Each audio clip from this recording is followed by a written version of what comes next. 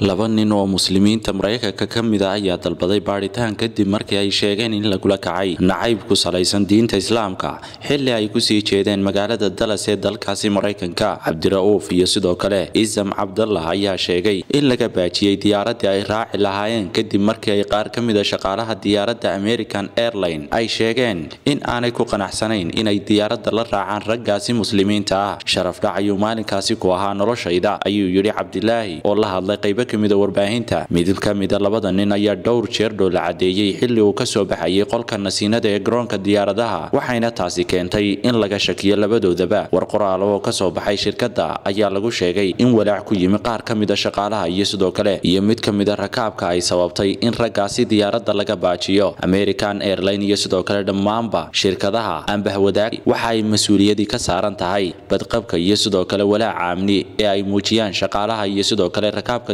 diyaaradaha. Ayaa lagu sheegay war-saxaafadeed ka soo baxay shirkadda duulimaadyada diyaaradaha ee american airline cabdira'uuf iyo sidoo kale cabdalla ayaa dhibaatada loo geystay ka sheegay shir jaraa'id oo ay qabteen kaas oo ay soo qabanqaabiyeen golaha islaamka ee maraykanka afar iyo tobanka bishii sebtembar labada nin ee muslimiinta ah ayaa qorshuhu ahaa in ay u safraan magaalada birmingham iyagoona ku sii jeeday dallas. Waa xiriirka wasaar telefishinka star